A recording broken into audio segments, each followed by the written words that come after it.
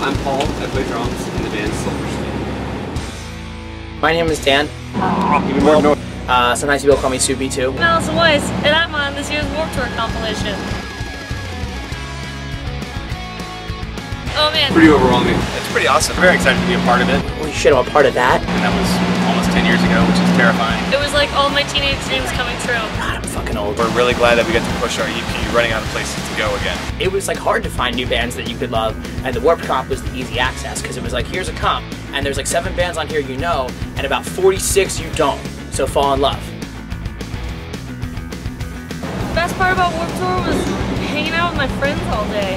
I don't even remember really who I saw. I think I stood in line for a while to get MXPX to sign a poster. But for me, it was like we were just a bunch of 16 year olds driving to the Warped Tour, no parents, no rules. Running from stage to stage to like check these bands out, and it, it was just cool because it was so diverse. Even though like it was a punk rock tour, they didn't even have just punk rock bands. Philadelphia's Warped Tour is actually across the river in Camden. I really only came to see Less Than Jake. Because I was a young and out. I would have wanted to see Less Than Jake so fucking bad.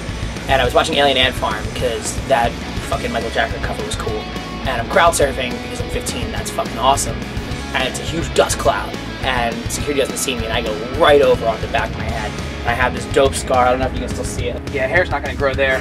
2001 or 2002 was our first Warped Tour I ever went to, and I saw No Use for a Name play. That was the first time I ever saw them play, and they were my favorite band growing up. We saw Tré Cool from afar, and we were going to try and go up and say hey to him. And when we got about, I don't know, 150 feet away or something like that, Tré decided to pee outside of his bus, so we did a 180 pretty fast, so we never got to meet Tré. So I fall and I reach back and I'm just like, God damn it, that's a lot of blood. They take me to the hospital, they spray my head off with water, and they're like, it's gonna be a while, we gotta stitch you up. And I'm waiting, and I'm waiting, and I'm waiting. Yo, fuck it, what's the worst that can happen? I'm gonna get see Less Than Jake. And I walk out of the hospital and I walk back, scrawny little white kid, bleeding from the head, hair all up in cool spikes, wandering around looking for the warp tour. In 04, we did several weeks, and that, that's the time we're talking about where we are on a different stage every day. Every day you wake up, you go to production, you find out your set time, and that could dictate your whole future.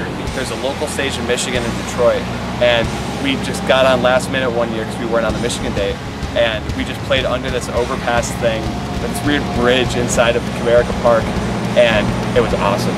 Like for people who have maybe not heard you ever, maybe they've heard your band name, might be walking by and they might like what they hear. After the festival shuts down, all the bands like have their own party in the parking lot. We all just like hang out in our lawn chairs like a bunch of old grandpas and talk about the day. One of my favorites is when I got to sing with Hellogoodbye. Everything's running a very certain, very particular way.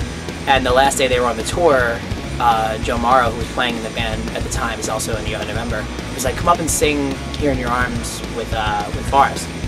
So I go up there, and every day Forrest would do the, like, you are the one, the one that lies close to me.